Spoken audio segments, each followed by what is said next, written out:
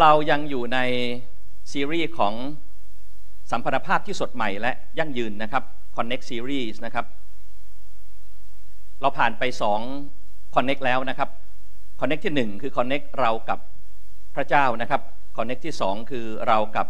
ตัวเราเองนะครับ วันนี้เราจะ Connect กับครอบครัวนะครับ เราพร้อมแล้วนะครับ เราลุกขึ้นนะครับ พร้อมกับ ดูในข้อพระคัมภีร์นะครับ พระธรรมกิจการบทที่ 16 ข้อ1ถึง3นะครับ พระธรรมกิจการบทที่ 16 ข้อ1ถึง3เปาโลไปยังเมืองเดอร์บีและเมืองลิสตราด้วย และนี่แน่ะที่นั่นมีสาวกคนหนึ่งชื่อทิโมธี มีมารดาที่เป็นชาวยิวและเป็นผู้เชื่อ แต่บิดาเป็นชาวกรีก เปาโลต้องการพาทิโมธีไปด้วย จึงให้เขาเข้าสุนัตเพราะเห็นแก่พวกยิวที่อยู่ในเมืองเหล่านั้น เพราะพวกเขาทุกคนรู้ว่าบิดาของเขาเป็นชาวกรีก ให้เราร่วมใจกันอธิษฐานนะครับข้าแต่พระเจ้า เราทั้งหลายขอพระคุณพระองค์เจ้าสำหรับการทรงสถิตของพระองค์ในชีวิตของเราทุกคน ขอเวลานี้เป็นเวลาที่เราจะฟังถ้อยคำของพระองค์ขอพระวิญญาณบริสุทธิ์ทรงโปรดเคลื่อนไหวท่ามกลางที่ประชุม แต่ต้องจิตใจจิตวิญญาณของเราทุกคน เปลี่ยนแปลงชีวิตของเราทุกคนให้จำเริญขึ้น ตามแผนการของพระองค์ตามน้ำพระทัยของพระองค์ให้เราดำเนินชีวิตอยู่ในความบริสุทธิ์อยู่ในความชอบธรรมของพระองค์ในทุกวันเวลา เราขอบพระคุณพระองค์เจ้า เราฝากเวลานี้ไว้กับพระองค์ในพระนามขององค์พระเยซูคริสต์เจ้าเอเมนเชิญนั่งครับ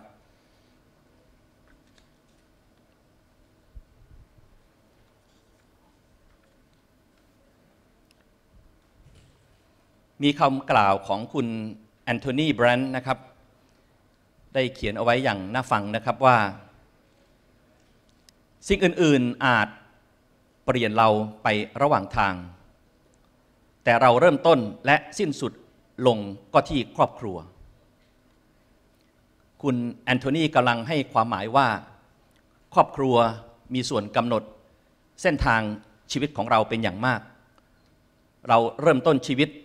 ของเราก็ที่ครอบครัว และระหว่างการเดินทางในชีวิตของเรา ไม่ว่าอะไรจะเกิดขึ้น เราก็จะกลับมาหาครอบครัวของเรา ไม่ว่าจะสุขหรือจะทุกข์ เราก็จะกลับมาที่บ้านนั่นเองนะครับ ผมกำลังหมายความว่าครอบครัวเป็นหน่วยย่อย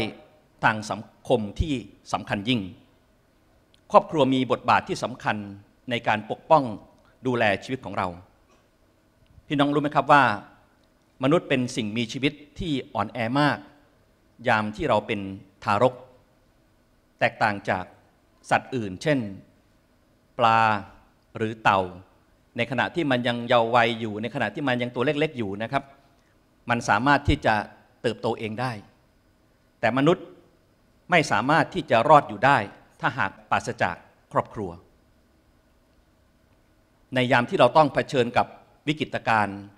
ในยามที่เราต้องเผชิญกับปัญหา เวลาที่เราต้องการคำปรึกษา ต้องการคำแนะนำต้องการคำช่วยเหลือ ต้องการที่พักใจ ครอบครัวก็มักจะเป็นที่พึ่งพาที่ดีสำหรับเราเสมอ ครอบครัวจึงสำคัญต่อการวางรากฐานชีวิตครับ หลายคนที่ประสบความสำเร็จสูง เติบโตขึ้นเป็นผู้ใหญ่ มีทัศนคติที่ดีในการมองโลก มีความสุขทำอะไรก็สำเร็จ เพราะเขาเหล่านั้นได้รับการวางรากฐานชีวิตและความคิดมาตั้งแต่วัยเด็ก ดังนั้นครอบครัว ทำให้เกิดการส่งทอดจากรุ่นสู่รุ่น ทั้งในเรื่องหลักการที่ดี ปรัชญาและค่านิยมที่ดี ถ้าเราจะเปรียบเทียบครอบครัวก็เหมือนกับโรงเรียน หรือคิสจักรนั่นเอง ถ้าเป็นโรงเรียนก็จะเป็นโรงเรียนแรกของชีวิตที่มีพ่อแม่เป็นครู ถ้าเป็นคิสจักรพ่อแม่ก็จะเป็นศิษยาพิบาลคนแรก ที่จะเลี้ยงดูอบรม ลูกๆ ในคิสจักรหรือในบ้าน ครอบครัวจึงมีบทบาทที่สำคัญมากครับ แต่น่าเสียดาย ที่ครอบครัวจำนวนมากในสังคมนี้ ในปัจจุบันนี้ได้ล้มเหลวในการทำหน้าที่ของตัวเอง และความล้มเหลวของครอบครัวทำให้สังคมที่เราอยู่นี้ย่ำแย่ เปรียบเหมือนกับสังคมที่มีคนเจ็บป่วย และหนักไปกว่านั้นก็นำไปสู่ความล้มเหลว ที่ได้ถ่ายทอดจากคนรุ่นหนึ่งไปสู่คนอีกรุ่นหนึ่ง จนกลายเป็นวัฏจักรแห่งความล้มเหลวที่ต่อเนื่องอย่างสิ้นเชิง เป็นความล้มเหลวที่ล้มเหลวอีก ล้มแล้วก็ล้มอีก นี่เป็นสิ่งที่เกิดขึ้นในสังคมเรา แต่พี่น้องครับ วันนี้เราจะมาฟังเรื่องราวของครอบครัวหนึ่ง ที่เป็นแบบอย่างให้กับเราทุกคน เป็นหนึ่งในผู้รับใช้ของพระเยซูคริสต์ ที่มีชีวิตที่โดดเด่น แล้วเรามาสังเกตดูนะครับว่า ครอบครัวนี้เป็นครอบครัวที่ก้าวข้ามอุปสรรคปัญหาอย่างไร เป็นครอบครัวที่เอาชนะปัญหาที่เกิดขึ้นในชีวิตอย่างไร เป็นครอบครัวของทิโมธีทิโมธีเป็นทีมงานคนสำคัญของเปาโล ซึ่งมีบทบาทมากต่องานของพระเจ้าในคริสตจักรสมัยแรก และคาดว่าทิโมธีน่าจะบังเกิดใหม่ เป็นคริสเตียน ผ่านการประกาศของอาจารย์เปาโล และได้รับการสร้างชีวิตให้เติบโตจนกลายเป็นทีมงานหลักที่สำคัญ ทิโมธีได้กลายเป็นผู้รับใช้ตั้งแต่อายุยังน้อย เป็นคนที่มีความสำคัญในการสารต่อในการรับภารกิจจากอาจารย์เปาโล ทิโมธีเป็นคนที่มีความสามารถสูง มีลักษณะชีวิตที่ดีมาก วันนี้เราจะมาดูกันว่าอะไรทำให้ ลักษณะชีวิตของทิโมธีเป็นลักษณะชีวิตที่ดีงาม และในครอบครัวเผชิญกับความท้าทายอะไรบ้าง แต่ในที่สุดทิโมธีก็กลายเป็นคนที่สร้างประวัติศาสตร์ทำให้คนมากมายในโลกนี้ได้รับสิ่งที่ดี จากผลงานชีวิตของทิโมธีนะครับ ประการที่หนึ่งครับ ครอบครัวของทิโมธีไม่ได้มีความสมบูรณ์แบบ ครอบครัวของทิโมธีไม่ได้มีความสมบูรณ์แบบ ซึ่งเราได้อ่านกันไปแล้วนะครับในพระธรรมกิจการบทที่ 16 ข้อหนึ่งเมื่อสักครู่นี้นะครับพูดถึงประวัติของทิโมธีนะครับทิโมธีเกิดในครอบครัวที่พ่อเป็นชาวกรีก และแม่ยายเป็นชาวยิว พระคัมภีร์ไม่ได้ให้รายละเอียดชัดเจน เรื่องราวของคุณพ่อของทิโมธีมากนัก แต่นักวิชาการบางท่านคาดว่า คุณพ่อของทิโมธีน่าจะเสียชีวิตก่อนวัยอันควร ดังนั้นการสูญเสียคุณพ่อ ซึ่งเป็นเสาหลักของครอบครัว น่าจะสร้างปัญหาให้กับทิโมธีและคุณแม่พอสมควรทีเดียว นอกจากนั้นนะคุณพ่อที่ไม่ใช่ชาวยิวทำให้ทิโมธีเป็นลูกผสมกับคนต่างชาติ ซึ่งไม่ได้รับการยอมรับในหมู่ชาวยิว ซึ่งเรื่องนี้ชาวยิวถือเป็นเรื่องใหญ่ ด้วยเหตุนี้เองนะครับ เราคงเห็นภาพนะครับว่าในลักษณะการที่ทิโมธีเติบโตขึ้น ที่มีพ่อและแม่มีความเชื่อต่างกัน ดังนั้นการอบรมสั่งสอน ก็จะเป็นความเชื่อที่หลากหลาย เราจึงเห็นได้ว่าทิโมธีไม่ได้เข้าสุนัตตั้งแต่เด็ก ซึ่งผิดจากธรรมเนียมปฏิบัติของหมู่ชาวยิวทั่วไป นี่เป็นเรื่องใหญ่สำหรับชาวยิว นี่เป็นเรื่องที่ทุกคนจับตามอง ว่าชีวิตของทิโมธีทำไมเป็นอย่างนั้น ไม่ได้เชื่อหรือ ดังนั้นทิโมธีเองจะต้องผ่านทัศนคติอย่างนี้จากคนรอบข้าง ทิโมธีเองที่ไม่ได้ถูกสร้างหลักความเชื่ออย่างถูกต้อง ดูเหมือนว่าน่าจะมีชีวิตที่หลงหาย หรือมีความเชื่อที่ไม่หนักแน่น เมื่อโตเป็นหนุ่ม แต่ชีวิตของทิโมธีกลับไม่ได้เป็นอย่างนั้นเลยครับ ชีวิตของทิโมธีกลับเป็นชีวิตที่ถูกสร้างอย่างแข็งแรง ด้วยฝีมือของคุณยายและคุณแม่ ชีวิตของทิโมธีก็เหมือนกับคนไม่น้อยในสังคม ที่มีครอบครัวที่ไม่สมบูรณ์แบบ คนในสังคมก็มักจะพูดว่า ครอบครัวของฉันไม่สมบูรณ์แบบ ครอบครัวของเรา มีไม่ครบ อย่ากังวลเลยครับ เรามาดูชีวิตของทิโมธีนะครับว่า ในความที่ไม่สมบูรณ์แบบของครอบครัวของทิโมธีทิโมธีเอาตัวรอดอย่างไร ใครบ้างอยู่เบื้องหลังความสำเร็จที่อยู่บนพื้นฐานของความไม่ครบถ้วน ประการที่สองครับ มีบางคนในครอบครัวทิโมธีทำหน้าที่อย่างดียอดเยี่ยม มีบางคนในครอบครัวของทิโมธี ที่ทำหน้าที่ทำบทบาทของตัวเองอย่างดีเลิศ พี่น้องครับแม้ว่าครอบครัวจะไม่สมบูรณ์ แต่หากมีใครสักคนหนึ่งที่ยืนหยัด ต้องใช้คาว่ายืนหยัดนะครับ ใครสักคนหนึ่งจะเป็นพ่อหรือแม่ก็ได้ หรือใครสักคนหนึ่งในครอบครัวก็ได้ ที่จะยืนหยัดจะสามารถโอบอุ้มครอบครัวให้ไปถึงความสำเร็จได้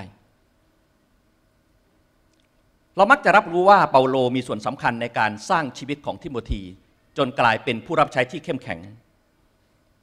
แต่ในพระคัมภีร์ได้พูดถึงผู้หญิงอีกสองคนที่อยู่เบื้องหลัง และมีส่วนสำคัญยิ่งต่อชีวิตของทิโมธี นั่นคือคุณยายและคุณแม่นั่นเอง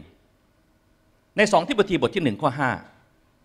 ข้าพเจ้าจะระลึกถึงความเชื่ออย่างจริงใจของท่าน ซึ่งเป็นความเชื่อที่โลอิสยายของท่านมีเป็นคนแรก และมีอยู่ในยูนิสมารดาของท่าน และบัดนี้ข้าพเจ้าก็เชื่อว่ามีอยู่ในตัวท่านด้วย นี่เป็นคำพูดของเปาโลที่มีความมั่นใจในตัวทิโมธีเพราะเขารู้ว่าทิโมธีถูกสร้างชีวิตมาจากครอบครัวที่มีความแข็งแรง แม้อาจจะมีความท้าทายและความจำกัดในครอบครัวของทิโมธี แต่คุณยายที่ชื่อโลอิส และคุณแม่ที่ชื่อยูนิสกลับมีบทบาท ที่มากเพียงพอที่จะเตรียมชีวิตที่ดีงามให้กับลูกและหลานของตัวเอง ผู้หญิงทั้งสองคนนี้มีส่วนสำคัญที่ทำให้ทิโมธีกลายเป็นสาวกที่เข้มแข็งของพระเยซูคริสต์นี่เป็นสิ่งที่เราน่าจะสรรเสริญ ความดีงาม ความตั้งใจ ความเสียสละของทั้งคุณยายและของคุณแม่ของทิโมธี พี่น้องครับผมเชื่อว่าเราทุกคนในห้องประชุมนี้ และคนในสังคมนี้ก็อยากจะพูดว่าเราคาดหวังครอบครัวที่สมบูรณ์แบบ เราคาดหวังที่จะมีครอบครัวที่เป็นเลิศ แต่บางทีในชีวิตจริงมันก็ไม่ได้เป็นอย่างนั้นหรอกครับ บางคนอาจจะพูดว่า ถ้าเพียงแต่คุณพ่อของเรา คุณแม่ของเรา คุณสามีของเรา คุณภรรยาของเรา คุณลูกของเรา ได้ทำอย่างนี้อย่างนี้อย่างนี้ และไม่เป็นอย่างนี้อย่างนี้อย่างนี้ ครอบครัวของเราก็จะสมบูรณ์แบบมากกว่านี้ น่าเสียดายจริง ๆคำพูดเหล่านี้ก็จะเป็นคำพูดที่สงสารตัวเอง เป็นคำพูดที่รู้สึกว่า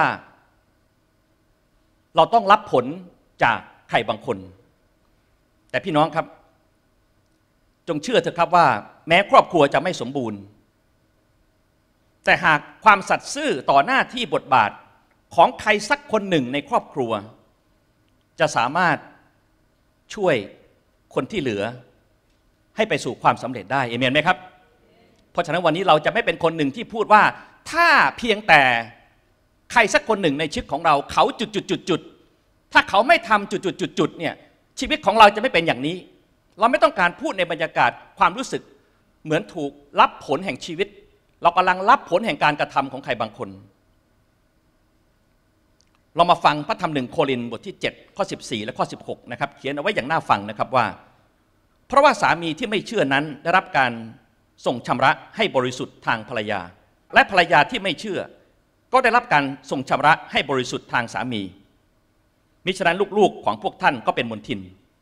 และบัดนี้เด็กเหล่านั้นบริสุทธิ์ ท่านผู้เป็นภรรยาท่านรู้ได้อย่างไรว่าท่านจะช่วยสามีให้รอดไม่ได้ ท่านผู้เป็นสามี ท่านรู้ได้อย่างไรว่า ท่านจะช่วยภรรยาให้รอดไม่ได้ นี่เป็นคำถามนะครับ ที่อาจารย์เปาโลถามคนในยุคนั้น แล้วก็น่าจะถามคนในยุคนี้ด้วยเหมือนกัน ว่ารู้ได้ยังไง เชื่อได้ยังไงทำไมจึงไม่เชื่อ พระคัมภีร์ตอนนี้ อาจารย์เปาโลพูดถึงคู่สามีภรรยาที่ฝ่ายหนึ่งมาเชื่อหลังจากแต่งงานแล้ว อีกฝ่ายหนึ่งยังไม่เชื่อ อาจารย์เปาโลบอกว่า หากความประพฤติที่ดีของฝั่งคนที่เชื่อ สามารถชำระครอบครัวให้ไปสู่ความดีงามได้ และในที่สุดก็อาจจะนำอีกฝ่ายหนึ่งมาเชื่อได้ด้วยเช่นกัน ขีดเส้นใต้คำว่าชำระนะครับคำว่าชำระในพระคัมภีร์ภาษาอังกฤษ NIV นะครับได้ใช้คำว่า sanctified S A N C T I F I E D sanctified หมายถึงการทำให้บริสุทธิ์ การทำให้พ้นบาป การชำระทำให้บริสุทธิ์ทำให้พ้นบาป แต่ไม่ได้ช่วยให้รอดได้นะครับ ฟังให้ดีๆนะครับ การชำระให้บริสุทธิ์ ฝ่ายนี้อาจจะพยายามทำดีเพื่อให้อีกฝ่ายหนึ่ง บริสุทธิ์ทำให้หลุดพ้นจากสิ่งที่ผิด แต่นั่นก็ไม่ได้ช่วยให้ไปถึงความรอดได้ ฟังดีๆต่อไปนะครับ แต่หากว่าความดีงามของฝ่ายที่เชื่อ ที่กระทำอย่างสม่ำเสมอ ก็จะเป็นการชำระอีกฝ่ายหนึ่งที่ไม่เชื่อ ทำดีทุกวันก็ชำระเขาทุกวัน เขาก็จะบริสุทธิ์มากขึ้นทุกวัน เขาก็จะทำสิ่งที่ผิดน้อยลงเรื่อยๆ และในที่สุด การที่เราอธิษฐานการที่เราทำดี ก็จะสามารถนำอีกฝ่ายหนึ่งมาเชื่อได้ด้วยเช่นกัน นี่คือสิ่งที่เราต้องมีความเชื่อว่าวันนี้ ครอบครัวเราบางคนอาจจะไม่ได้เชื่อ ญาติเราบางคนอาจจะไม่ได้เชื่อ ชีวิตของท่านจะเป็นเหตุให้เขาเชื่อได้ แต่ท่านต้องปฏิบัติสิ่งที่ดีงามเอเมนไหมครับ ขอให้ทำอย่างสัตย์ซื่อนะครับ และผมเชื่อว่าวันหนึ่งท่านจะเห็นคนที่ท่านทำดีด้วยนะครับ เขาจะมาเชื่อพระเจ้าด้วย ไม่ว่าท่านจะเป็นพ่อแม่สามีภรรยาหรือลูกวันนี้นะครับ วันนี้เรื่องราวเหล่านี้เป็นของเราทุกคน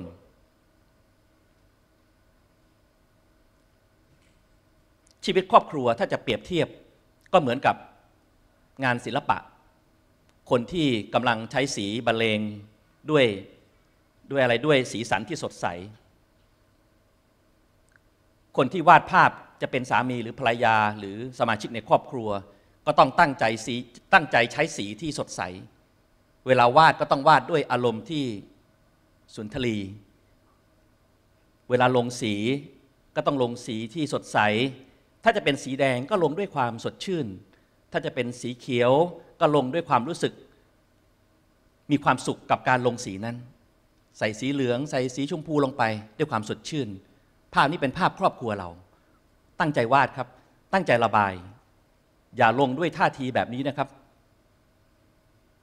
นี่คือสีแดง สีเขียวการใช้สีแบบนี้ด้วยเสียงแบบนี้แสดงว่าเรากำลังอยู่ใน ในอารมณ์ที่รู้สึกขาดขาดความสุขอย่างมากทีเดียว ระบายผิดอีกแล้ว ภาพนี้ไม่สวย การระบายสีไปด้วยอารมณ์แบบนี้นะครับ ภาพยังไงก็ออกมาไม่สวยแน่นอน วันนี้ขอให้มั่นใจนะครับว่า เราไม่ใช่เป็นเหยื่อของของครอบครัวที่ไม่สมบูรณ์แบบ อีกครั้งหนึ่งนะครับ วันนี้เราไม่ได้เป็นเหยื่อของครอบครัวที่ไม่สมบูรณ์แบบ แต่เราอยู่ในอยู่ในสถานะของผู้ร่วมกำหนดหน้าตาของครอบครัวของเรา อยากได้ครอบครัวอย่างไร วันนี้เราต้องลงมือทำอย่างนั้น อยากได้ผลลัพธ์อย่างไร เราก็ต้องใจตั้งใจทำอย่างนั้น อยากได้ภาพสวยๆเราก็ต้องตั้งใจวาด ต่อให้ใครจะไม่สัตย์ซื่อก็ตาม แต่เราจะเลือกเป็นผู้ที่สัตย์ซื่อ ต่อหน้าที่ของเราในครอบครัว ต่อให้ใครจะไม่ทำก็ตามแต่เราจะทำขอให้ทุกบทบาทในห้องประชุมนี้บอกเอเมนใครไม่ทำก็ไม่เป็นไรครับ แต่เราจะสัตย์ซื่อเราจะทำอย่างตั้งใจ และวันหนึ่งเราจะเก็บเกี่ยวสิ่งที่ดีเอเมนไหมครับ ประการที่สามครับรากฐานที่ดีของทิโมธีเกิดจากการปลูกฝังตั้งแต่วัยเด็ก การสร้างชีวิตจะต้องเริ่มตั้งแต่วัยเล็กๆ ตั้งแต่เยาว์วัยนั่นเองนะครับสองทิโมธีบทที่ 3 ข้อ 14ถึง15 แต่ท่านจงดำเนินต่อไปในสิ่งที่ได้เรียนรู้แล้ว และเชื่ออย่างมั่นคง และท่านก็รู้ว่าท่านเรียนมาจากใคร และตั้งแต่เด็กมาแล้ว ท่านก็ได้เรียนรู้พระคัมภีร์อันศักดิ์สิทธิ์ สามารถให้ปัญญาแก่ท่าน ในเรื่องความรอดโดยความเชื่อในพระเยซูคริสต์คุณยายและคุณแม่เป็นครูคนแรกของทิโมธีที่สร้างลักษณะชีวิต ให้มีความเข้มแข็ง มีจิตใจที่อ่อนโยน และทั้งสองคนก็กระทำเรื่องนี้อย่างสม่ำเสมอ ปลูกฝังสิ่งเหล่านี้ตั้งแต่ลูกและหลานยังเล็กอยู่ ผ่านการสอนหลักการแห่งพระชนะทำให้ลูกและหลานได้เติบโตขึ้น มีจิตใจที่อ่อนโยน มีชีวิตที่เต็มไปด้วยความเชื่อ มีจิตใจที่ยอมจำนนและนบนอบต่อพระเจ้า วันนี้ถ้าหากว่าใครต้องการให้ลูกหลานของท่านมีชีวิตเหมือนอย่างทิโมธีนะครับ ท่านจะต้องตั้งใจสอนหลักการแห่งพระชนะของพระเจ้าให้กับลูกหลานของท่านเอเมนนะครับ พระคัมภีร์ได้บันทึกถึงลักษณะชีวิตที่ดีของทิโมธีมากมายนะครับหนึ่งโครินธ์บทที่4ข้อ17 ได้พูดถึงความซื่อสัตย์ของทิโมธี ทั้งต่อตัวเองต่อคนรอบข้าง และทั้งต่อพระเจ้าสองทิโมธีบทที่3ข้อ10 ได้บันทึกถึงความอดทน การสู้ชีวิตของทิโมธีและการที่ทิโมธีมีความรักอย่างเต็มเปี่ยมหัวใจให้กับทุกคน สิ่งเหล่านี้แหละครับเป็นผลมาจากการปลูกฝังลักษณะชีวิตที่ดีตั้งแต่วัยเด็ก ซึ่งเรามักจะเข้าใจว่า เพราะไม้อ่อนจึงดัดง่าย ก็ถูกต้องแล้วครับ ไม้อ่อนดัดง่ายครับ วันนี้ถ้าหากว่าเราต้องการที่จะทุ่มเทหล่อหลอม สิ่งใดให้กับสมาชิกในครอบครัวของเรา ต้องทำตั้งแต่วัยเด็ก การปลูกฝังนิสัยที่ดีในวัยเด็กนั้น จะช่วยให้ชีวิตของคนนั้นในระยะยาวเนี่ยเกิดผลอย่างแข็งแรง เราจะหันไปบอกคนข้างๆหน่อยดีไหมครับว่า ปลูกฝังนิสัยที่ดีในวัยเด็ก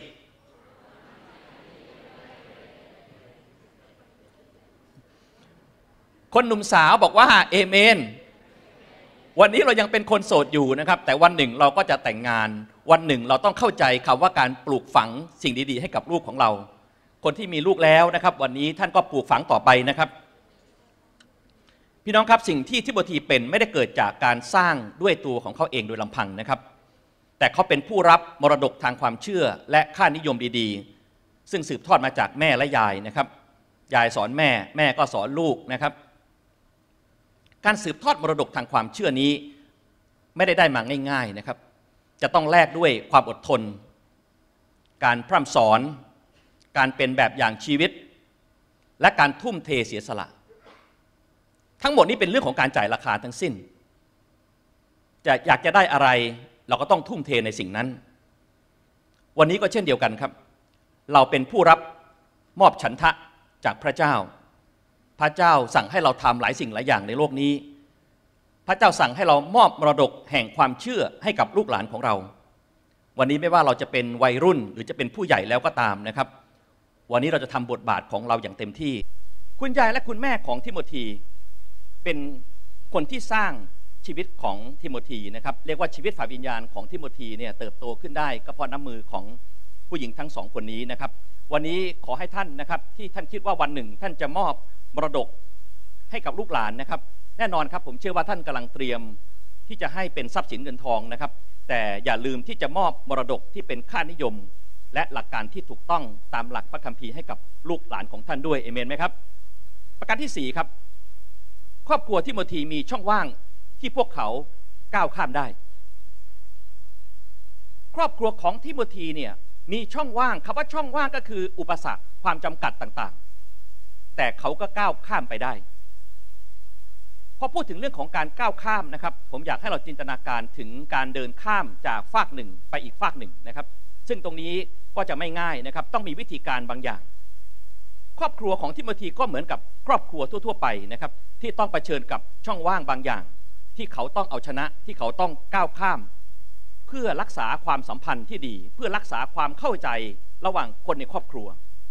เราจะเห็นการอบรมสั่งสอนที่ดีจากยายมาสู่แม่ จากแม่ก็มาสู่ทิโมธีนี่เป็นเรื่องราวที่เกิดขึ้นของ3 generation นี่เป็นเรื่องราวของ3ชั่วอายุคนที่ส่งต่อกันมาอย่างดีเลิศ สะท้อนว่าครอบครัวของเขาได้เอาชนะได้ก้าวข้ามช่องว่างต่างๆ ไปได้อย่างดีเลิศ เรามาดูนะครับคำว่าช่องว่างในครอบครัวมีอะไรบ้างนะครับ ช่องว่างในครอบครัวมีหลายอย่างนะครับหนึ่งช่องว่างระหว่างเพศ ลูกชายอย่างทิโมธีรับคำสอนจากคุณแม่และคุณยายที่เป็นผู้หญิงได้เป็นอย่างดี นี่ไม่ใช่เรื่องง่ายนะครับ ที่ผู้หญิงจะพยายามที่จะสอนหลักการบางอย่าง หลักปฏิบัติบางอย่าง ให้กับผู้ถูกสอนที่เป็นผู้ชายที่เป็นเพศตรงข้าม แต่คุณแม่ของทิโมธี และหลานของคุณยายนะครับ เข้าใจดีเลยครับ ว่าผู้ชายคิดอย่างไร เด็กหนุ่มต้องการอะไร ทั้งยายและแม่จึงหาวิธีที่จะอบรมที่หมดทีจนกลายเป็นคนที่ดีและประสบความสำเร็จได้ พี่น้องรู้ไหมครับว่าธรรมชาติของผู้ชายและผู้หญิงมีความแตกต่างกันในมุมมองและความคิด ตลอดจนทัศนคติต่อบางเรื่องที่แตกต่างกัน วันนี้ในสังคมเรานะครับ เราจะเห็นหลายครอบครัวมีช่องว่างเรื่องนี้มาก ตัวอย่างเช่นนะครับ เรื่องบางเรื่องสามีอาจจะบอกว่า คุณเนี่ยเป็นคนคิดมาก เป็นคนหยุมหยิมจริง ๆ เลยทำไมคุณชอบมโนนะทำไมคุณเป็นคนอย่างนี้ แต่ภรรยาอาจจะบอกว่า เรื่องนี้เป็นเรื่องใหญ่สำหรับฉัน ฉันไม่ได้มโนนะ เรื่องนี้เป็นเรื่องที่คุณต้องรับผิดชอบ ทั้งหมดนี้นะครับ ไม่ว่าเรื่องจะเป็นเรื่องที่หยุมหยิมหรือเรื่องที่ใหญ่โตก็ตามในครอบครัวถือเป็นช่องว่าง ที่เราต้องเปิดใจคุยกัน นี่เป็นช่องว่างที่ครอบครัวจะต้องก้าวข้ามไปให้ได้สองนะครับเป็นช่องว่างระหว่างวัย มีคนสามรุ่นครับในพระคัมภีร์ข้อนี้ เกิดกันคนละยุค เกิดกันคนละสมัย เมื่อคนอยู่กันคนละยุค ประสบการณ์มุมมองความคิดก็แตกต่างกัน แต่เขาก็ยอมรับกันได้นะครับ ทั้งยายและแม่ก็ยอมรับกันและกัน และทั้งสองก็เลยจับมือกันที่จะสอนลูกและสอนหลานได้ นี่เป็นการถ่ายทอดองค์ความรู้ที่ถ่ายทอดได้อย่างดีเลิศ งานวิจัยบอกว่าช่องว่างระหว่างวัยในเด็กยุคใหม่นี้ ลดจาก 10 ปี เหลือเพียงแค่ 7 ปี ช่องช่องว่างระหว่างวัยนะครับ แต่ก่อน 10 ปีนะครับ เดี๋ยวนี้เหลือแค่ 7 ปี นั่นหมายความว่าเด็กยุคใหม่ที่กำลังจะเกิดขึ้น ที่มีอายุห่างกัน 7 ปีเนี่ยเขาจะมีโลกทัศน์มุมมองความคิดที่แตกต่างกัน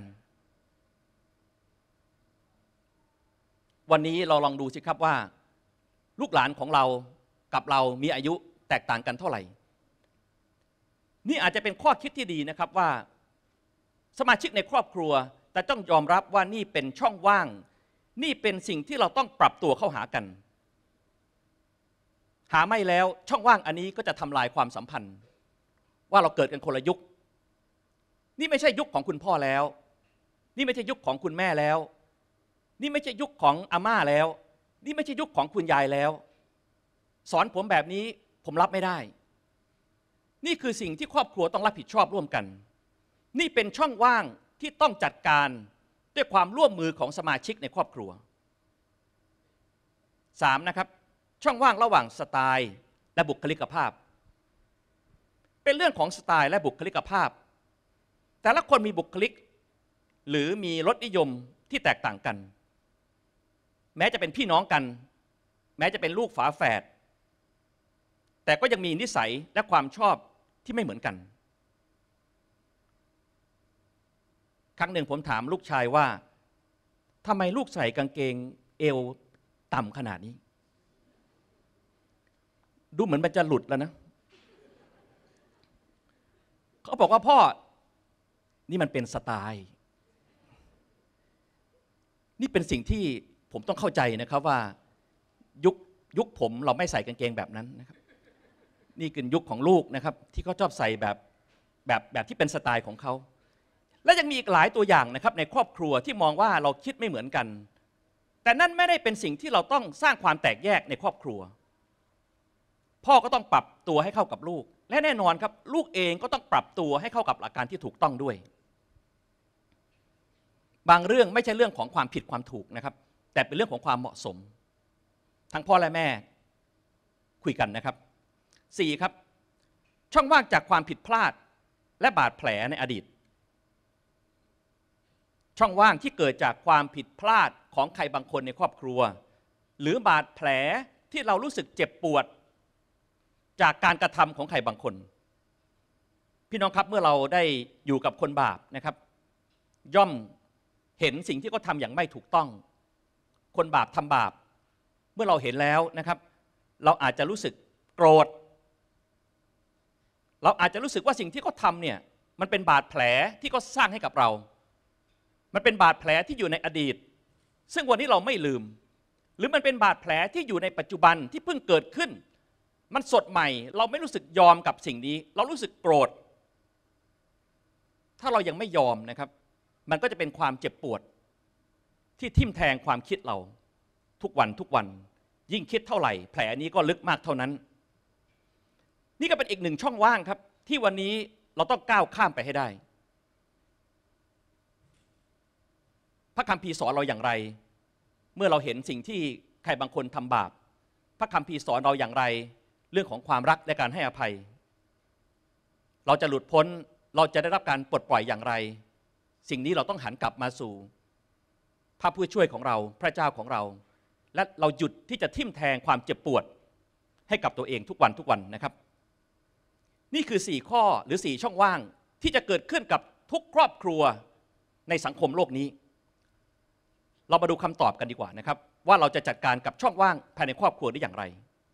ประการที่1นงนะครับเห็นคุณค่ามุมมองและประสบการณ์ที่แตกต่างกัน แตกต่างย่อมไม่นำไปสู่ความแตกแยกครับ เมื่อความแตกต่างเกิดขึ้น พยายามมองคุณค่า และประสบการณ์ที่แตกต่างนั้น และเมื่อเรามองแล้วเราจะเห็นว่าในความแตกต่างนั้นจะมีทั้งข้อดีและข้อเสีย ข้อดีเราก็ชื่นชมครับ ข้อเสียเราก็หาทางที่จะช่วยกันแก้ พยายามใช้ประโยชน์จากประสบการณ์ที่แตกต่าง บางครั้งในสังคมเรียกว่าเราแลกเปลี่ยนเรียนรู้ เราแลกกัน เราฟังกันและกัน ชีวิตของทิโมธีสามารถเชื่อมช่องว่างระหว่างวัย จากยายสู่แม่และสู่ตัวเขาได้อย่างราบรื่น ส่งผลให้ต่อมาเขาได้เป็นผู้รับใช้เป็นศิษยาพิบาลหนุ่ม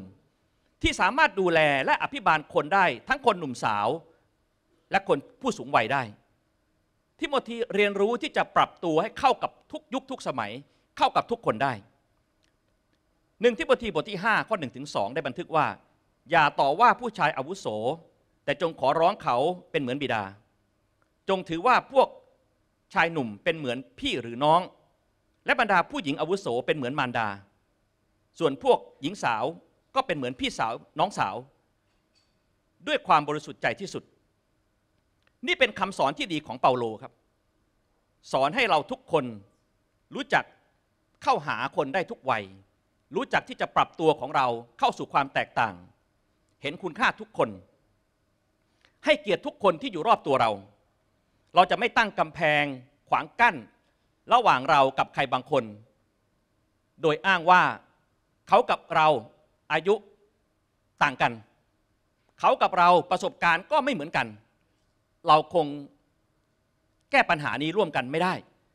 และที่หนักไปกว่านั้น บางเรื่องเราก็จะไม่มีวันหาความเข้าใจกันได้เลย นี่คือสิ่งที่เราต้องจัดการกับช่องว่างนะครับ หากมีบางท่านในห้องประชุมนี้คิดว่าท่านรู้สึกว่าท่านมีปัญหาเรื่องนี้นะครับ นี่เป็นช่องว่างครับ ก้าวข้ามไปให้ได้ครับ แล้วเราจะสร้างความสัมพันธ์ที่ดีกับคนในครอบครัวเรา ประการที่สองครับ ผมชอบเรื่องนี้นะครับ สื่อสารระหว่างกันเสมอครับ คุยกันครับ มีอะไรอย่างเงียบมีอะไรคุยกัน ในบริบทครอบครัวนะครับ เราไม่ควรคิดว่า เรื่องนี้เขาต้องรู้ ไม่บอกเขาต้องรู้ แต่สำหรับบางคนแล้ว ไม่บอกเขาก็ไม่รู้ ซึ่งไม่แปลกหรอกครับสำหรับบางคนที่ต้องถูกบอก บอกเขาเถอะครับ อธิบายความตั้งใจของเรา อธิบายสิ่งที่เราอยากจะให้เขาทำอธิบายสิ่งที่เราต้องการให้เขาเปลี่ยน สิ่งหนึ่งที่ควรระวังนะครับ ในครอบครัวคือเรื่องของการตีความ หลายครั้งใครบางคนไม่ทำตามที่เราบอก เราก็มักจะตีความเชิงลบ ว่าคุณไม่ทำเพราะว่าอย่างนี้ใช่ไหม คุณไม่ทำเพราะว่าคุณไม่อยากทำใช่ไหม นี่คือการตีความครับ หลักการตีความเนี่ยต้องตีความอย่างนี้ครับ เราอ่านพระคัมภีร์ เราต้องสนใจบริบทและเจตนาของผู้เขียนแต่ละคนว่า เขียนด้วยวัตถุประสงค์ใด เขียนภายใต้บริบทอะไร เหมือนกันเลยครับกับการดำเนินชีวิต เมื่อใครบางคนทำอะไร เราก็ต้องไปถึงจุดของเจตนา ว่าจริง ๆ แล้วเนี่ยเขาทำเรื่องนี้ด้วยเหตุผลอะไร เราต้องไปถึงจุดของการไปที่จุดมุ่งหมายของคนที่ทำเราอ่านพระคัมภีร์ เราก็ต้องอ่านเจตนาของผู้เขียนในทุกเล่ม เหมือนกันครับ วันนี้เราอยู่ร่วมกับใครก็ตาม อยากจะรู้ว่าเขาทำอย่างนั้น เพราะอะไร เราต้องไปหาเขาถามเขาครับว่าเขาทำอย่างนั้นด้วยเหตุผลอะไร การนิ่งเงียบ หลายครั้งครอบครัวชอบใช้วิธีนี้นะครับเป็นยุทธศาสตร์ที่ดีนะครับ ที่เขาคิดนะครับว่าดีนะครับว่าการเงียบเนี่ยเป็นยุทธศาสตร์ที่ดีมากในการแก้ปัญหา แต่รู้ไหมครับว่าการนิ่งเงียบภายใต้ปัญหาเนี่ยไม่ได้เพียงแค่ทำลายหนทางแห่งการแก้ไข แต่การนิ่งเงียบทำลายความสัมพันธ์ได้อย่างสิ้นเชิง ยิ่งเงียบมากเท่าไหร่ ปัญหาก็ลึกเท่านั้น ปัญหาก็แก้ไขได้ยากเท่านั้น ยิ่งเงียบเท่าไหร่ การแก้ปัญหาก็ใช้ระยะเวลานานเท่านั้น ครอบครัวไหนที่ชอบแก้ปัญหาด้วยความเงียบนะครับ วันนี้เราหันกลับมาคุยกันครับ เราหันมาใช้หลักการแห่งพระชนะ เราหันมาคุยกันด้วยความรักเอเมนไหมครับบอกคนข้างๆนะครับ ไม่ว่าเขาจะเป็นเพื่อนหรือครอบครัวในในบ้านเรานะครับ บอกว่ามีอะไรอย่างเงียบ มีอะไรพูด มีอะไรพูดออกมา มีอะไรเราคุยกันเอเมนไหมครับ ประการที่สามนะครับ นอกจากเราต้องคุยกันแล้วนะครับ เราต้องไม่ยึดเส้นทางของเราเป็นหลักนะครับ ให้เรายืดหยุ่นในการปรับตัวครับ ปรับตัวครับ วันนี้เราไม่เอาเส้นของเราเป็นเส้นแห่งความถูกต้อง เส้นของเราเป็นมาตรฐาน อย่ามุ่งหวังว่าอีกฝ่ายหนึ่งต้องปรับ เราต้องด้วยครับ ถ้าเราว่าเขาต้องปรับ เราก็สมควรจะต้องปรับด้วยเหมือนกัน นั่นคือปรับร่วมกันครับทำร่วมกัน จับมือกัน เปิดใจให้กว้าง ยอมรับความแตกต่าง ยอมรับความไม่เหมือน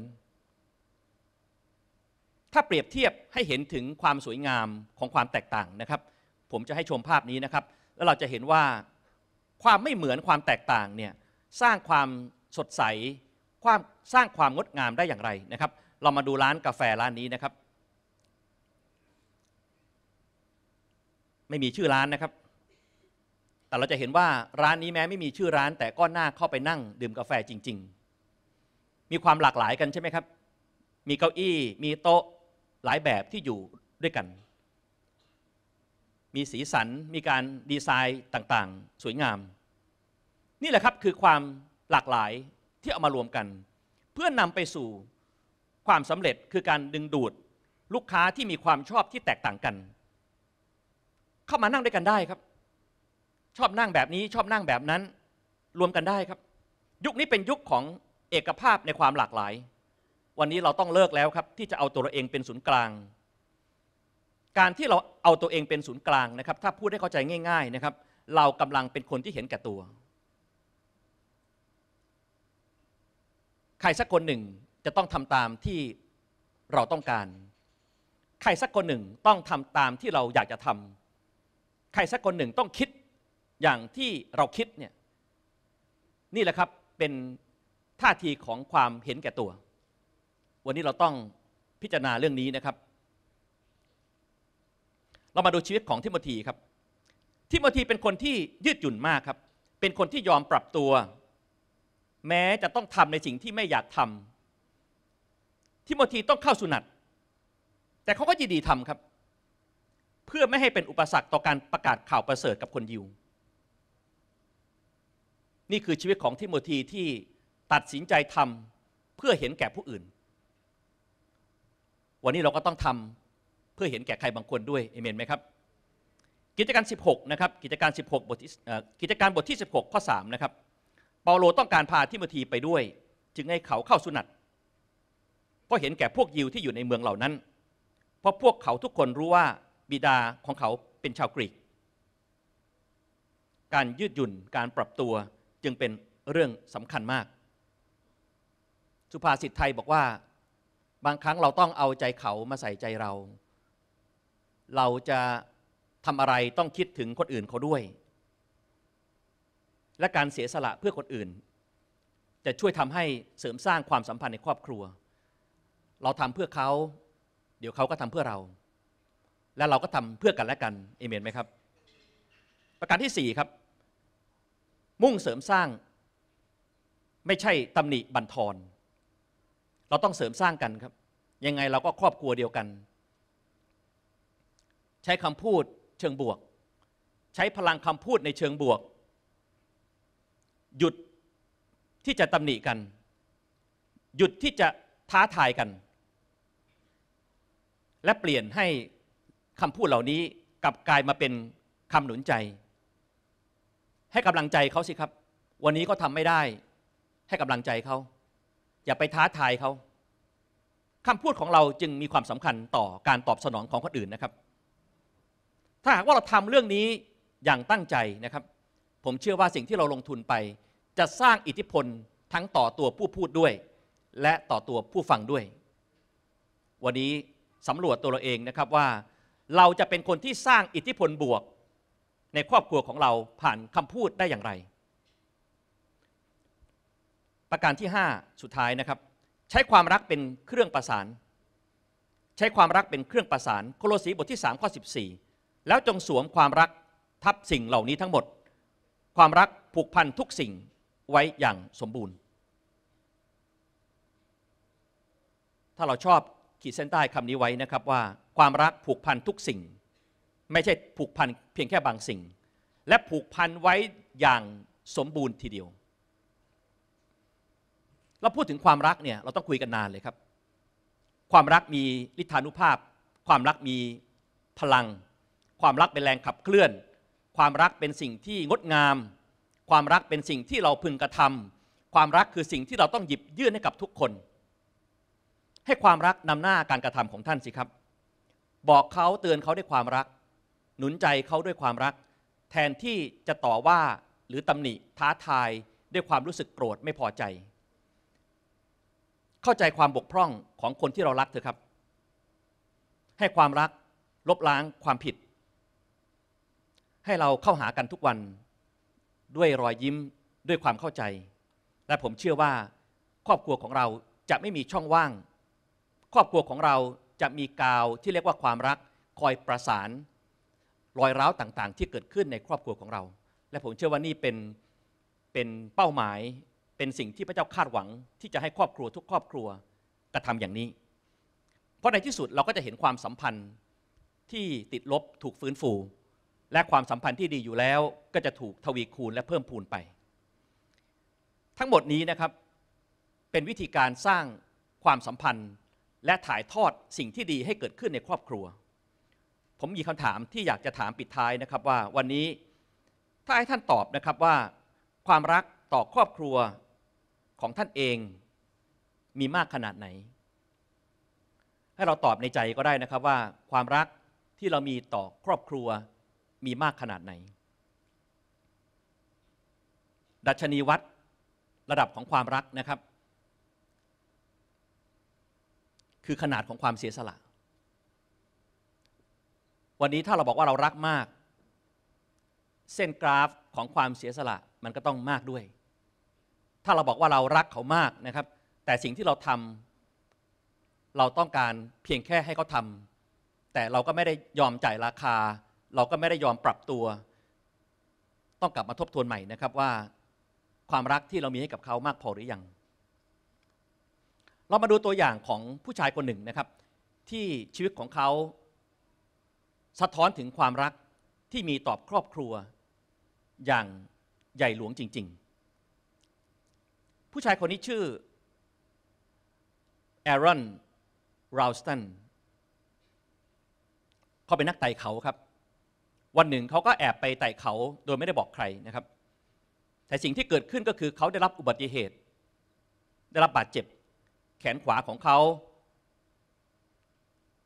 กระแทกได้ได้รับความเสียหายเป็นแผล บวม เขาติดอยู่บนเขาหกวัน และระหว่างหกวันนั้นแผลเขาก็แย่ลงเรื่อยๆ จนเขาคิดว่าเขาคงไม่มีแรงที่จะลงจากเขาได้แล้ว สิ่งที่เขาทำก็คือเขาได้เอาเครื่องถ่ายวิดีโอของเขาที่ติดมานะครับ บันทึกภาพของเขาเอง ที่สั่งเสียครอบครัวว่าเขาคงจะไม่รอดแล้ว แต่ในขณะที่เขากำลังบันทึกเสียงของเขาอยู่นะครับเขาก็ฉุกคิดขึ้นมาได้ว่า ครอบครัวของเขาจะเสียใจสักเพียงใด ถ้าหากรู้ว่า ตัวเขามาเสียชีวิตที่นี่ เมื่อเขาคิดได้นะครับ พลังความรักที่เขามีต่อครอบครัว ก็ทำให้เขาเกิดเปลี่ยนใจ แทนที่เขาจะไม่ลงไปนะครับ แทนที่เขาจะยอม ที่จะตายบนเขานะครับเขาบอกเขาเปลี่ยนใจแล้วเขาคิดว่าเขาจะต้องไม่ตาย สิ่งที่เขาทำก็คือเขาหยิบมีดพกของเขาในกระเป๋าขึ้นมานะครับ แล้วก็หันไปมองแขนที่บวมและเป่งความเจ็บปวดของเขาอยู่นะครับเขาได้ใช้มีดของเขาเนี่ยฟันแขนข้างข้างที่เจ็บปวดของเขาทิ้งไปเลยครับ เพราะเขาไม่ต้องการให้ความเจ็บปวดความทุกข์ทรมานในส่วนที่มันเน่า ในส่วนที่มันกำลังอะไรกำลังปะทุความเจ็บปวดนั้น ทำให้เขารู้สึกว่ามันเป็นปัญหา เขาก็เลยยอมตัดสินใจอีกเจ็บอีกครั้งเดียวครับ แต่ครั้งนี้แขนนี้หลุดไปเลย และแขนนี้ก็หลุดออกจากตัวเขาไปเลย หลังจากนั้นเขาก็ใช้พลังที่เหลืออยู่นะครับ ลงมาจากเขาด้วยแขนข้างเดียว พี่น้องรู้ไหมครับว่าเขาฟันแขนข้างหนึ่งของเขาออกไป ยาชาก็ไม่มีนะครับบนนั้น เป็นความเจ็บปวดมากครับ แต่สุดท้ายเขาก็ลงมาจากเขาได้ และเขาก็รอด ข้อคิดคืออะไรครับเรื่องนี้ มันไม่ได้เกี่ยวว่าเขามีแขนครบถ้วนหรือมีแขนเดียวนะครับ ต่อให้ไม่มีทั้งสองแขนนะครับ ต่อให้ต้องตัดอีกข้างหนึ่งทิ้งไปนะครับ แต่ถ้าลงมาด้วยท่าทีแบบนี้นะครับ ถ้าลงมาด้วยท่าทีของความรัก มันคือพลังมหาศาลครับ วันนี้เราทำทุกอย่างเพื่อคนที่เรารักได้เอเมนไหมครับ วันนี้เราคงไม่จำเป็นต้องถึงขนาดไปตัดแขนเพื่อใครนะครับ แต่วันนี้ลองเปรียบเทียบสิครับว่า วันนี้เราต้องยอมที่จะทำอะไรบางอย่าง หรือยอมที่จะไม่ทำอะไรบางอย่าง เพื่อคนที่เรารักสิครับ แล้วพลังของความรักจะเปลี่ยนแปลงสิ่งที่เกิดขึ้นในครอบครัว จะเห็นสิ่งที่งดงามสิ่งที่ทรงคุณเกิดขึ้นในครอบครัวของเรา วันนี้หากมีความรักก็ไม่มีการเสียสละอะไรที่มากเกินไปเอเมนไหมครับ ทุกคนต้องรู้จักที่จะเสียสละ ไม่ว่าจะเสียสละ ความชอบความไม่ชอบ ความถนัดความไม่ถนัดให้กับคนที่เรารัก และโดยภาพรวมแล้วนะครับ ผมเชื่อว่าครอบครัวของเราจะทวีคูณความสุขมากยิ่งขึ้น ครอบครัวของเราจะเดินหน้าไปข้างหน้าได้ ขอให้เราเป็นเพียงแค่แม้คนเดียวเท่านั้นนะครับที่ทำเรื่องอย่างนี้ เราจะสามารถพาคนทั้งครอบครัวไปสู่ความสุขของพระเจ้าได้ ความรักมีพลังมหาศาล ผมขอสรุปอย่างนี้นะครับว่า ช่องว่างต่างๆในชีวิตของเรา ความไม่สมบูรณ์แบบ ความท้าทายต่างๆ ที่อยู่ในครอบครัวเราวันนี้ เราต้องข้ามไปให้ได้ แต่การข้ามนั้นก็คงจะเป็นการเดินข้ามแบบธรรมดาธรรมดาไม่ได้ เพราะถ้าเรื่องนี้เป็นเรื่องที่ใหญ่โต เรื่องนี้เป็นเรื่องหนักสำหรับเรา ยิ่งเรื่องใหญ่เท่าไหร่ ยิ่งเรื่องหนักเท่าไหร่ เราก็ต้องยิ่งต้องสร้าง วิธีหรือสร้างสะพานที่จะก้าวข้ามไปให้ได้ สะพานของท่านหมายถึงอะไร ผมไม่ทราบนะครับสะพานของท่านหมายถึงอะไร สะพานของท่านอาจจะเป็นบางอย่างที่ท่านต้องเอาชนะ บางอย่างที่ท่านต้องรับผิดชอบอย่างเต็มที่ บางอย่างท่านต้องยอมที่จะตัดบางอย่างออกไป ตัดความชอบ ตัดความไม่ชอบ และผมเชื่อว่าถ้าท่านสร้างสะพานนี้ที่ประกอบไปด้วยการยอมการจ่ายราคา การทุ่มเทเสียสละ ท่านจะพาครอบครัวของท่านก้าวข้ามไปได้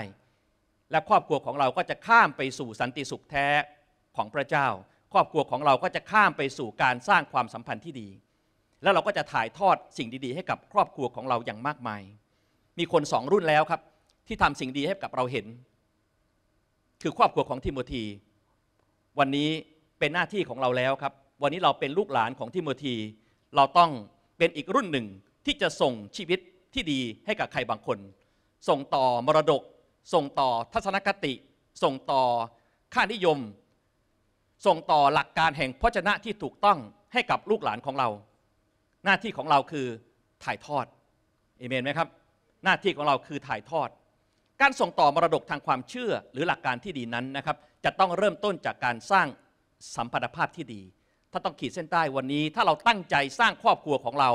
ส่งต่อสิ่งที่ดีให้กับครอบครัวของเรา จะเกิดขึ้นไม่ได้ หากในบ้านของเรายังมีความสัมพันธ์ที่ไม่ดีต่อกัน วันนี้ที่มีความสัมพันธ์ที่ดีอยู่แล้วทำให้แข็งแรงมากยิ่งขึ้น วันนี้ถ้ามีความสัมพันธ์ที่ติดลบ มีความสัมพันธ์ที่ท่านมองแล้ว ก็รู้ว่าต้องการการซ่อมแซม วันนี้ตัดสินใจกลับไปซ่อมแซมนะครับ และผมเชื่อว่าพระเจ้าอยู่ข้างเรา เราไม่ได้ทำคนเดียว พระเจ้าจะอยู่กับเรา พระเจ้าจะช่วยเราให้เราเสริมสร้างความมั่นคงในครอบครัว ระเจ้าจะช่วยให้เรากับพระเจ้ามีความสัมพันธ์กันมากยิ่งขึ้น ผ่านเหตุการณ์ที่เราเผชิญอยู่เอเมนไหมครับ ถ้าเราต้องการสร้างครอบครัวที่มีความมั่นคง และนำไปสู่ความสุขนำไปสู่การจำเริญขึ้นในทางของพระเจ้าบอกเอเมน จงรับไว้ในความเชื่อนะครับ ให้เราร่วมใจกันอธิษฐานนะครับข้าแต่พระเจ้า ขอบพระคุณพระองค์เจ้าสำหรับหลักการแห่งความชอบธรรมหลักการแห่ง พระชนะของพระองค์ที่สอนเราทุกคนในวันนี้ เราขอดำเนินชีวิตที่เรียนแบบครอบครัวของทิโมธีขอพระเจ้าทรงโปรดได้สร้างชีวิตของเรา ให้ดำเนินไปด้วยหลักการ ไม่ใช่ดำเนินไปด้วยกระแสของโลก ไม่ได้ดำเนินไปด้วยความรู้สึกนึกคิดของเราเอง แต่เราต้องการให้พระคำของพระองค์นำหน้าชีวิตของเรา ให้เราเป็นผู้ส่งต่อหลักการที่ดี ไปยังคนรุ่นต่อๆไป คนนั้นอาจจะเป็นคนในครอบครัว คนนั้นอาจจะเป็นคนในคริสตจักร เราจะส่งทอดมรดกแห่งความเชื่อ เราจะทำอย่างดีเลิศ เราจะเรียนแบบชีวิตครอบครัวของทิโมธีที่ยอมจ่ายราคาทำอย่างเต็มที่เต็มกำลัง แม้เราจะเป็นครอบครัวที่ไม่สมบูรณ์แบบแต่ขอพระเจ้านำเรา ที่เราจะเป็นคนที่สัตย์ซื่อในครอบครัวของเรา แม้จะมีเพียงแค่เราคนเดียว แต่เราเชื่อว่าถ้าเราทำบทบาทหน้าที่ของเราอย่างเต็มที่ เราจะรักษาครอบครัวของเราไว้ได้ เราจะสามารถเพิ่มพูนความสุขในครอบครัวของเราให้มากขึ้นกว่านี้ได้ เราจะผ่านอุปสรรคต่างๆ เราจะก้าวข้ามทุกอย่างไปได้ ช่องว่างต่างๆที่มีอยู่ในครอบครัวของเรา เราจะก้าวไป เราจะข้ามไปได้ด้วยกำลังที่มาจากพระเจ้า ขอพระเจ้าฟื้นฟู ขอพระเจ้าเพิ่มพูนความสุขความยินดีในครอบครัวของเราขอชีวิตของเราเต็มไปด้วยความรัก เต็มไปด้วยการให้อภัย ขออย่าให้เราจดจำความเจ็บปวด ความผิดพลาด ความล้มเหลว ของตัวเรา หรือของใครบางคนในครอบครัวเรา วันนี้ขอยุติท่าทีแบบนี้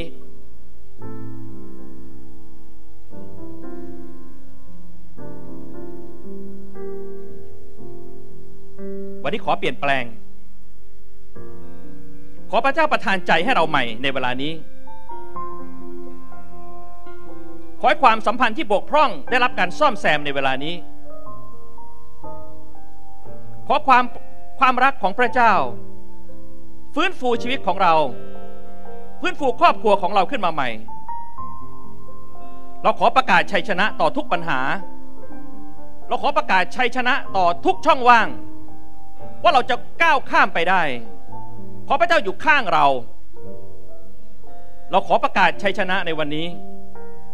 ครอบครัวของเราจะอยู่ในพระเจ้า ครอบครัวของเราจะอยู่ในแผนการของพระเจ้า ผมอยากให้เราหลับตาอธิษฐานอย่างเจาะจงนะครับ มีสิ่งใดบ้างที่เป็นภาระหนัก เป็นช่องว่างใหญ่โตในครอบครัวของเรา ขอพระเจ้าช่วยท่าน อธิษฐานกับพระเจ้าสิครับว่าเรื่องนี้เป็นความทุกข์หนัก เป็นความเสียใจ เป็นความปวดร้าวในชีวิต ขอพระเจ้าซ่อมแซม ขอพระเจ้านำให้ข้ามไปได้ ขอพระเจ้าเป็นสะพานที่จะข้ามไป ขอพระเจ้าเป็นสะพานที่จะพาเราข้ามไป ไปสู่ความดีงามของพระเจ้า ไปสู่ความดีเลิศของพระเจ้า ไปสู่แผนการของพระเจ้าที่มีอยู่ในครอบครัวของเราข้าแต่พระเจ้า จากนี้ไปจะมีแต่ความยินดี ความทุกข์ใจสิ้นสุดลงแล้ว ความเจ็บปวดจะสิ้นสุดลงแล้ว จากนี้ไปจะมีแต่ชัยชนะ จากนี้ไปจะมีแต่เสียงโห่ร้องยินดี จะไม่มีความทุกข์ใจอีกต่อไป ข้าพระองค์ขอประกาศชัยชนะในเวลานี้ร่วมกับพระเยซูคริสต์เมื่อพระเยซูคริสต์มีชัยชนะเหนือความตาย จะไม่มีสิ่งใดที่เป็นอุปสรรคที่เราจะทำไม่ได้ ขอพระเจ้าช่วย ขอพระเจ้าปลดปล่อยในเวลานี้ทำลายพันธนาการเหล่านี้ให้หมดสิ้น จากนี้ไปจะมีแต่ชัยชนะ จากนี้ไปจะมีแต่ความยินดี จากนี้ไปจะมีแต่เสียงโห่ร้องนมัสการพระเจ้า จากนี้ไปจะมีแต่เสียงสรรเสริญพระนามของพระองค์ฮาเลลูยาฮาเลลูยาให้เราลุกขึ้นร้องเพลงนี้ประกาศชัยชนะ ประกาศความดีงามของพระเจ้า จากนี้ไปจะสรรเสริญพระเจ้า ความทุกข์สิ้นสุดลงแล้ว จากนี้ไปจะมีแต่ความสัมพันธ์ที่ดีไม่ทำให้เสีย รรเสริญพระเจ้าเวลาให้เราร้องเพลงนี้ร่วมกันนะครับทรงไม่เคยซ้ำเติมหัวใจที่ขอพระเจ้าสัมผัสจิตใจเรา และไม่ดับแสงเทียนที่สขอชีวิตของเรามีแต่แสงสว่าง ขอพระเจ้านำเราในทุกวัน ขอมั่นใจในความรักของพระองค์ มั่นใจตลอดไปไม่ทำให้เสียสรรเสริญพระเจ้าทรงสรรเสริญตลอดเวลา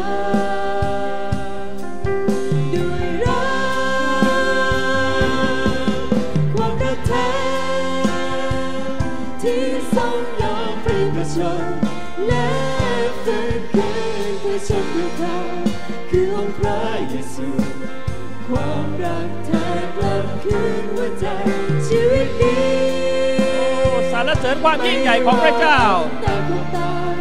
พระเจ้าชนะทุกสิ่งแล้ว เราขอประกาศชัยชนะนี้ร่วมกับพระองค์ ความรักแท้ของพระเจ้า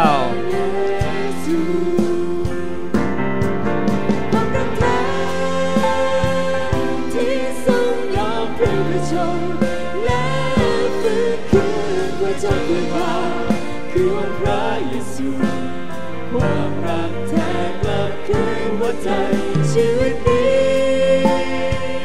ไม่ว่าอำนาจใดๆหรือพลังหรืออำนาใดๆไม่อาจฟื้นทำลายความรักแท้ในองค์พระเยซู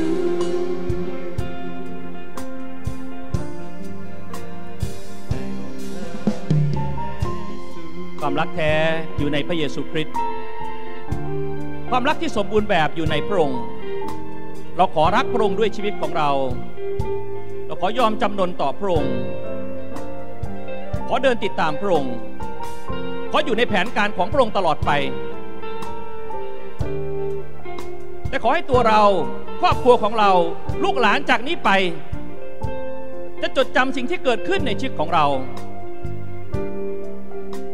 เขาจะจดจำสิ่งที่อัศจรรย์ที่เกิดขึ้นในชีวิตของเรา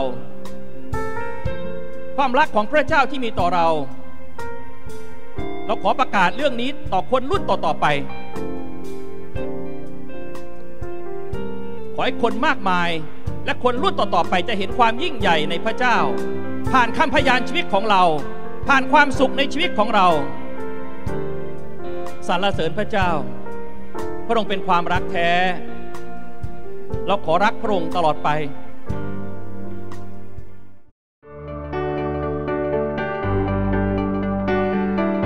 ขอบคุณทุกท่านสำหรับการรับชมคำเทศนาของเรา หวังใจเป็นอย่างยิ่งว่าคำเทศนานี้จะสามารถเป็นพระพรช่วยให้ท่านได้รับกำลังใจ